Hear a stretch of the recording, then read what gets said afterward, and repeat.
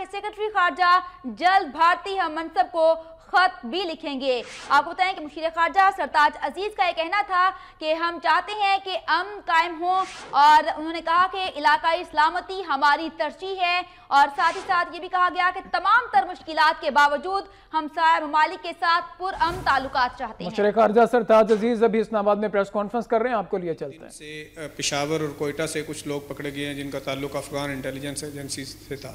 آپ بات کر رہے ہیں کہ افغانستان کے ساتھ جو جو ہمارے تعلقات کے ہیں، ان کو ان کو ری وزٹ کرنے کے لیے سفارشات یا گائیڈ لائن بن گئی ہے۔ اسی طرح آپ انڈیا کے ساتھ خصوصی مذاکرات کرنا چاہ رہے ہیں، کشمیر پہ اور اسی طرح این ایس ڈی پہ۔ تو کس طرح سے ہم ان ان سارے ایشوز کو ایک ساتھ لے کر چلیں گے کہ ان کے ساتھ ایجنسی ہوسٹائل ایجنسیز کا جو کردار ہے، اس کو بھی ٹیک اپ کریں گے اور پھر نئی گائیڈ لائنز کے تحت مذاکرات کر کے تعلقات کو بہتر بھی کریں گے۔ دیکھیں نا جی اس میں الگ الگ ایشوز ہیں۔ پہلا جو ایشو کلبشن کا ہے، اس میں جیسے کہا گیا کہ اس پہ کافی تفصیل سے تحقیقات ہو رہی ہیں، کیونکہ وہ اکیلا نہیں تھا۔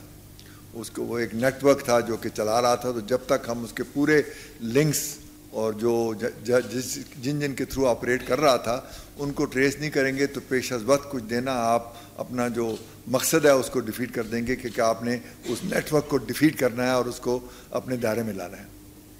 تو وہ ہم کوشش تو کر رہے ہیں کہ ستمبر ہماری جو جنرل اسمبلی کی میٹنگ سے پہلے کچھ ایک ڈوزیے جو ہم نے پہلے بنایا تھا، اس کو مزید الیبوریٹ کر کے وہاں شیئر کریں، لیکن ابھی تفصیل میں اس کی نہیں بتا سکتا کیونکہ اس پہ ابھی تک کام ہو رہا ہے۔ دوسری جو بات ہے کہ جو کوئٹے کا واقعہ ہوا، اس میں ظاہر ہے ابھی تو تین دن ہوئے ہیں تو پتہ نہیں ہے، لیکن جو اشارے ہیں وہ ظاہر ہیں کہ جو افغانستان میں تاریخ طالبان پاکستان ہے ان کے جو ایک اسپلنٹر گروپ ہے، جماعت اللہ آر انہوں نے دعویٰ بھی کیا کہ ہم نے کیا ہے۔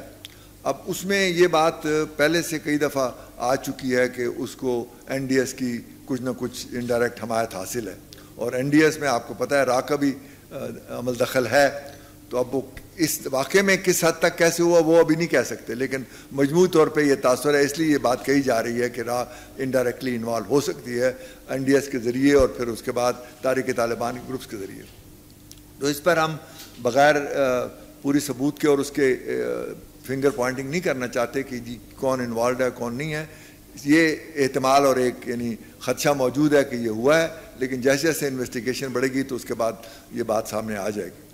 اور اس میں جو ظاہر ہے کہ ہم افغانستان سے جو بات چیت کر رہے ہیں، اس میں ہم کوشش کر رہے ہیں کہ این ڈی ایس اور آئی ایس آئی کا جو آپس میں لنک ہے اور انٹریکشن ہے، وہ آگے بڑھے۔ اسلام آباد میں مشیر خارجہ سرتاج عزیز پریس کانفرنس کر رہے تھے۔ ان کا ایک علاقہ اسلامتی ہماری اولین ترجیح ہے۔